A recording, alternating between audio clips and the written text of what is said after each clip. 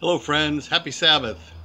I'm glad to be with you on this Sabbath day as we gather together in prayer. And today, as we often do, I want to offer a prayer about love. Let's pray together.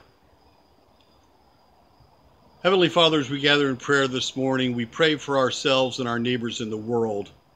We begin with prayers of thankfulness for all that we have received, for all the blessings in our lives.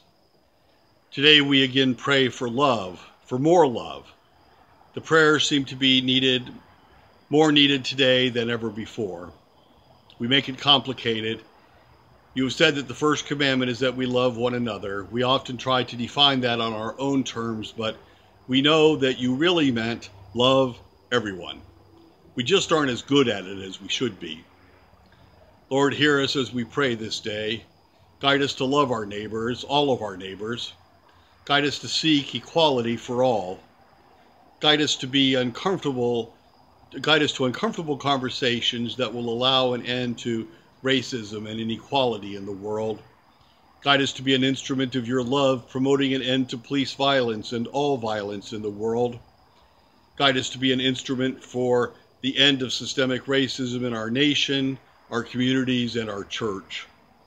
Guide us to seek unity for our nation. Forgive our silence and guide us to speak. Forgive our inaction and guide us to act. Forgive our hate and guide us to love. Amen. Friends, our reading for today is text from Deuteronomy, what is commonly referred to as the Shema, from the sixth chapter of Deuteronomy. You shall love the Lord your God with all your heart, and with all your soul and with all your might. Keep these words that I am commanding you today in your heart. Recite them to your children and talk about them when you are at home and when you are away, when you lie down and when you rise.